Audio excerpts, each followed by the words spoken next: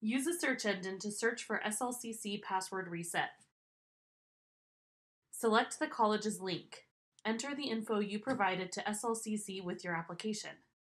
Create a password that meets these requirements. Search for SLCC placement test. Click on the field labeled Placement to proceed. Scroll down once you've reviewed these instructions.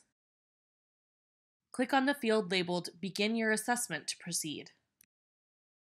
Scroll down once you've reviewed these instructions. Click on the field of the placement test you need to complete. You will be prompted to log in using your SLCC ID and password.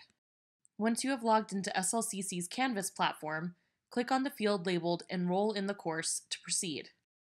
Click on the field labeled Go to the course to proceed. Scroll down once you've reviewed these instructions. Click on the field labeled Get Started to begin your assessment. After you click Take the quiz, be sure to select Group 1 before continuing. The next field might become unresponsive during the placement test. Refresh your browser to continue. After refreshing, the field can be selected and you can proceed. Canvas will make a placement recommendation when you complete the quiz. Make sure to take a screenshot of this recommendation for your records. You can do that using these commands. Your placement recommendation will be available at your school two to three days after you take the test.